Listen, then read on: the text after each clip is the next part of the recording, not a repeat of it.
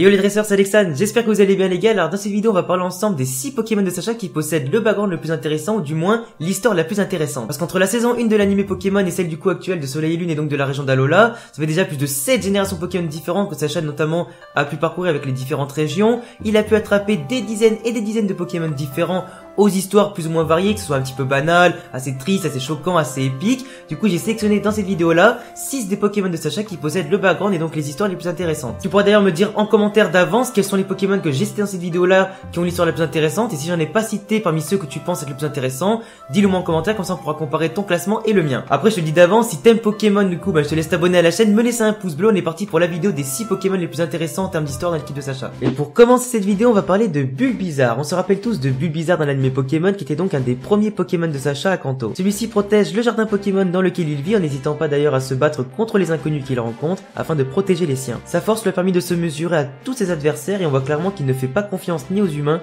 ni aux étrangers. Sacha finira d'ailleurs par gagner sa confiance petit à petit en l'aidant à protéger le jardin Pokémon et finira d'ailleurs par le capturer par la suite de ça pour compléter son équipe. Bulbizarre a toujours été un des Pokémon les plus appréciés des fans que ce soit pour son caractère, sa bravoure et son attitude. Il aura d'ailleurs accompagné Sacha durant plus de 5 saisons plus d'autres apparitions durant l'anime Pokémon et aura même refusé d'évoluer en Herbizarre durant la série. On sait tous que Bulbizarre est un Pokémon très fier qui a toujours su se montrer utile dans les moments importants et c'est pour ça que les fans l'apprécient tous. Il aura même permis à Sacha de remporter de nombreuses batailles et on espère bien sûr le revoir de nouveau à l'avenir. On enchaîne ensuite avec Mucuscule qui finira par évoluer en Colimucus puis en Muclodocus dans l'anime Pokémon et qui possède une des histoires les plus intéressantes des Pokémon de Sacha. Sacha le rencontre en Mucuscule et on constate rapidement que ce petit Pokémon est un petit peu fragile et pas forcément très puissant. Sacha comprend les soucis de ce Pokémon et bien sûr apprend les problèmes de Mucuscule par rapport à son environnement et ses amis qui sont en danger. Mucuscule a rejoint l'équipe de Sacha après qu'il l'ait aidé à se défendre et a commencé à la suite de cela à s'entraîner avec lui pour devenir plus fort. Il a d'ailleurs pu évoluer en Colimucus dans la série après que Sacha l'ait défendu contre un gros ray et il finira ensuite par évoluer en Muclodocus pour protéger tous ses amis et c'est après cela que Sacha va le relâcher pour qu'il puisse protéger l'endroit qui lui est cher.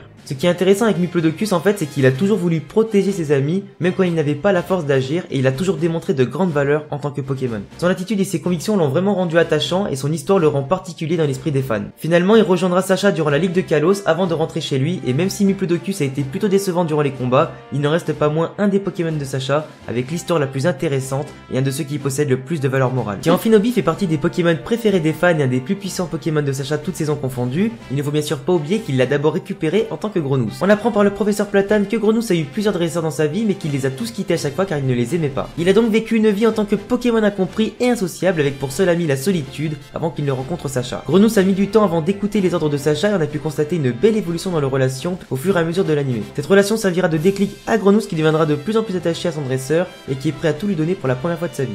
Un Pokémon qui a du mal à faire confiance et qui réussira malgré tout à grandir avec un dresseur jusqu'à évoluer, devenir plus fort et fusionner avec lui, devenant ainsi Sacha Nobi.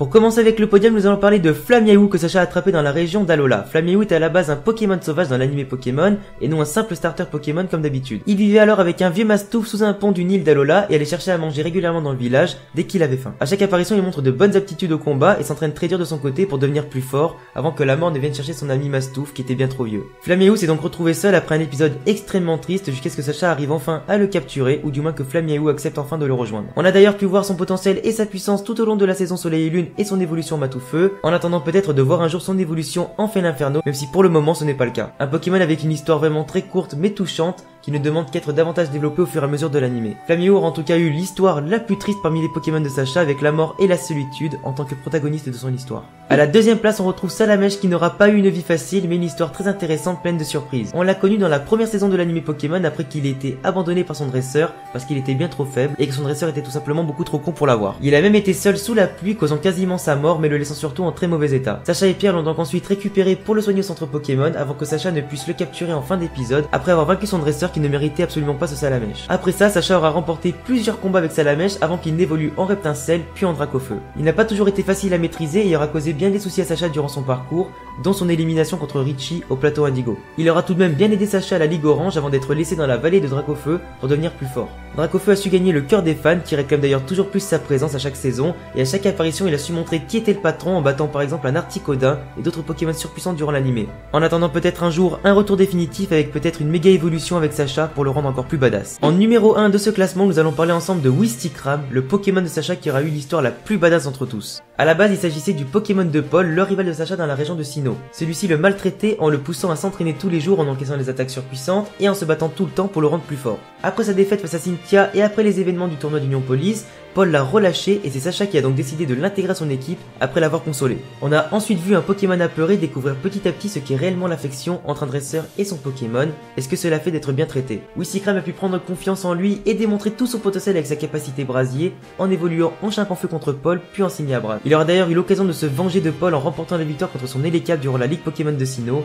dans un des matchs les plus épiques de l'animé, faisant de lui au passage un des meilleurs Pokémon de Sacha, toutes saisons confondues. Et voilà les gars, c'est tout pour cette vidéo, j'espère en tout cas qu'elle vous aura plu, je te laisserai me dire en commentaire qui sont pour toi les Pokémon de Sacha qui possèdent l'histoire la plus intéressante parmi ceux que j'ai cités et ceux parmi euh, ceux que je n'ai pas cités justement. N'oublie pas de t'abonner si t'aimes Pokémon, de me laisser un pouce bleu si t'aimes cette vidéo, mes vidéos en général et tout ce que je propose sur la chaîne en général. Et bien sûr n'oublie pas de me follow sur tous mes réseaux, il y a tous les liens en description. À bientôt pour prochaine vidéo. Ciao les gars Ensemble pour toujours et même un peu